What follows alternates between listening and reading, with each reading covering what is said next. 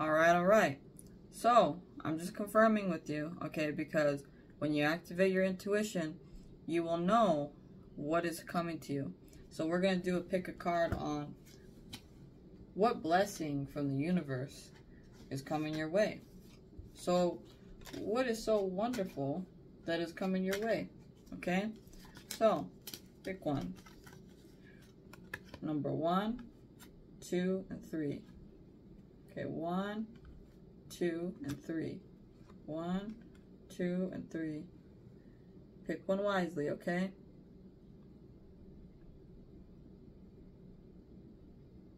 All right. You could pause it here, but I'm going to get started on one, okay? One. New starts.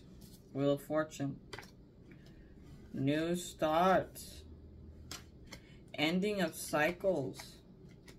Stepping into your true calling. The Emperor. Leaving stuff behind.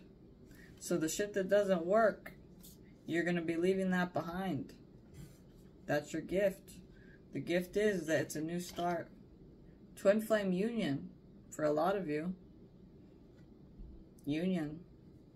What else is coming in? A very big business adventure. Instant money, instant manifestation. That's what's coming for you, pile number one. So pile number two. Knight of Cups. Oh. Beautiful woman has come to you. She's very beautiful. Very, very beautiful. A very well-wanted woman. A lot of people want to be with this person. A lot of people want to be with this person.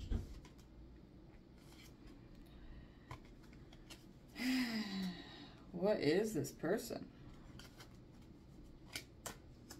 They are from your past life.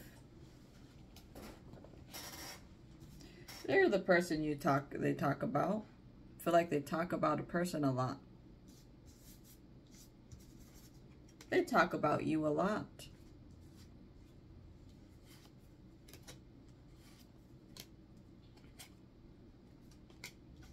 They see you are very stable. You are grounded. You are centered. You're quick to make decisions. They come to you because you knew them from a past life and you were their twin flame. So what's coming? You're going to move in with them and it's going to happen very fast. You're going to marry them. And many other beautiful blessings that are coming. So what is coming for you? Already has come. Your twin flame. Okay, so let's move on to pile number three. Pile number three. Wow. pile number three. you have some very shy people that are coming in. But they are going to, the, right now they're shy though. This is just the energy. Who is this person? Very mixed energy. So there's multiple men that are coming in for you. A lot of divine masculines.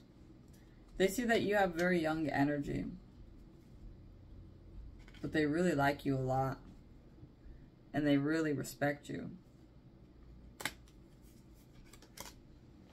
Nah, these people are making it up. See these people that are coming in? They're your soul family. It's just they're really shy, but they're not. Yeah, look it. They are hiding themselves, okay?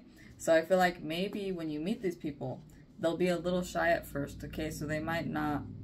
I, you meet them through your twin flame they're very shy at first. Okay? They're very, they might be shy.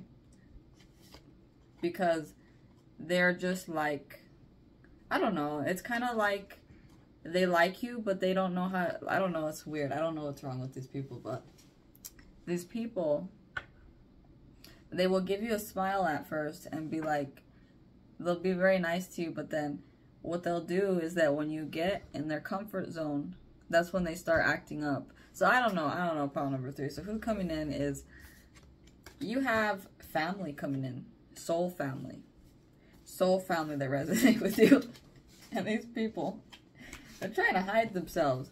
They're trying to hide themselves. I think that when you meet them, they're gonna be like, they're gonna be a little shy at first, but then they're gonna, I don't know. It, it depends. But these are crazy people. These are your soul family.